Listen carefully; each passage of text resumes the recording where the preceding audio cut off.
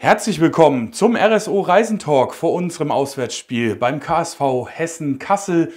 Natürlich, wie gewohnt, unser Cheftrainer hier im Talk. Hallo Pascal. Hallo. Pascal, am Mittwoch war am Ende ein knapperes Ergebnis, als das Spiel gewesen ist, aber kannst du noch mal ein paar Sätze zum Pokalspiel rückblickend sagen? Kann ich machen, allerdings ist das Spiel für uns schon lange abgehakt. Es war mit Schlusspfiff auch durch. Ähm, wir haben die Hürde Weidenhausen genommen. Ähm, wir sind hingefahren, wir haben sehr gut begonnen, hatten ja nach fünf Minuten schon 2-0 geführt, hatten auch in der ersten Halbzeit die Vielzahl an Chancen, die wir nicht genutzt haben, wo wir einfach ja, noch entschlossener einfach das dritte und vierte Tor nachlegen müssen. Ähm, dann war es in der zweiten Halbzeit ein Spiel mit viel Ballbesitz, aber den zwingenden Aktionen nicht mehr so zum Tor und ähm, auch so ein bisschen den Zugriff, den wir verloren haben. Und in der 92. fällt dann der Anschlusstreffer, wobei es, glaube ich, schon trotzdem noch ein verdienter und klarer Sieg für uns war. Ähm, aber wie gesagt, abgeschlossen, wir sind eine Runde weiter, wir überwintern im Pokal, das ist das Schöne. Und deswegen freuen wir uns nur noch drüber. Und ähm, ja, da ging schon ab Donnerstag nur noch der Blick nach vorne zum nächsten Spiel am Samstag in Kassel. Interessante Randerscheinung. Im Pokal wird das nächste Spiel dann auch in Kassel sein, äh, voraussichtlich im Februar. Heute war Abschlusstraining und wir hatten einen Gast dabei, beziehungsweise ein Spieler ist zurück, der jetzt ja wirklich monatelang weg war. Nino Miotke war heute das erste Mal da. Korrekt. Ähm, ja, wir freuen uns sehr. Also ist ja ein alter, neuer Bekannter. Ähm, wir freuen uns sehr, dass er wieder da ist. Ähm, haben gestern einen Anruf bekommen, ich bin gelandet. das war dann gut. Ähm, es gab ja, ich kenne die Geschichte halt ein bisschen, äh, viele Komplikationen. Ähm, ich glaube, er hat viel zu erzählen, aber erstmal ist wichtig, dass er wieder da ist. Die Jungs haben sich gefreut, wir haben uns gefreut. Wir nehmen ihn wieder auf und äh, ja, jetzt müssen wir natürlich Stück für Stück ähm, gucken, wie ist der Leistungsstand und äh, machen dann Step by Step die nächsten Sprünge mit ihm. Wie du schon gesagt hast, Nino hat viel zu erzählen. Das werden wir auch in der nächsten oder übernächsten Woche aufgreifen. Aber wir wollen ihn natürlich jetzt erstmal ankommen lassen. Dann hatten wir ein Jubiläum in Weidenhausen. Sasa Strujic hat sein 250. Pflichtspiel für den TSV gemacht. Den wollen wir auch dann ehren vor dem Spiel in Offenbach.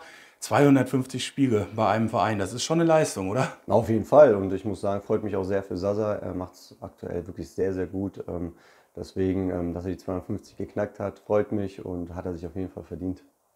Aber jetzt kommen wir zum Tagesgeschäft. Wir spielen in Kassel. Wie sieht denn unsere verletzten Situation aus? Hat sich irgendwas durch das Pokalspiel verändert? Nein, also wir haben das ähm, ja, versucht so zu steuern, dass wir alle an Bord behalten, dass sich keiner verletzt. Und ähm, ja, wir sind jetzt am Ende der englischen Woche. Natürlich ist die Müdigkeit gegeben, aber ich glaube, die ist morgen dann auch weg. Morgen gilt es für uns darum, ähm, ja, die englische Woche mit einem positiven Ergebnis abzuschließen, dann Maximum rauszuholen, das, was wir wollen. Und da muss man dann halt einfach bis an die Grenze und drüber hinaus gehen. Dafür sind wir bereit, das wollen wir machen. In der Situation des Kader hat sich nichts geändert. Wir hatten jetzt äh, mit Benny Kirchhoff einen Spieler, der zurückgekommen ist, der dann auch individuell ein bisschen mehr Step by Step mittrainiert hat, ähm, ist aber auch noch nicht dann spieleinsatzfähig. Und von daher hat sich am Kader nichts geändert und wir gehen mit den Jungs, die wir jetzt die letzten beiden Spiele auch im Kader hatten, nach Kassel. Die Zielsetzung hast du ja schon gesagt. Wir wollen da unbedingt drei Punkte holen. Aber was erwartet uns denn in deinen Augen für einen Gegner? Ja, auf jeden Fall ein Gegner, der in der Tabelle höher stehen könnte, ähm, weil die Qualität in der Mannschaft ist gegeben. Ähm, es wird ein sehr, sehr unangenehmes, ein hartes, ein intensives Spiel und ähm, das ist natürlich am Ende der englischen Woche natürlich nochmal on top schwieriger, aber wir sind gewappnet, wir wollen da voll gegenhalten und wir haben es, glaube ich, bewiesen, dass wir es können. Wir haben einen guten Lauf, den wollen wir uns nicht kaputt machen, sondern den wollen wir weiter ausbauen. Wir wollen einfach an unseren Stärken und unseren dem, was wir aufgebaut haben, einfach weiter arbeiten und das mitnehmen. Und deswegen können wir voller Selbstvertrauen ähm, nach Kassel fahren und wollen halt das Maximum erreichen, den dritten Sieg in einer Woche. Pascal, ich denke, wie jedes Mal am Ende vom Video spreche ich für alle Fans des TSV, natürlich auch für mich persönlich. Ich wünsche dir und der Mannschaft alles Gute morgen in Kassel. Am liebsten dann natürlich auch den nächsten Sieg, damit wir dann in einer Woche beim Spiel gegen Kickers Offenbach hier oben auch noch mal ein paar Zuschauer mehr haben als gegen Homburg.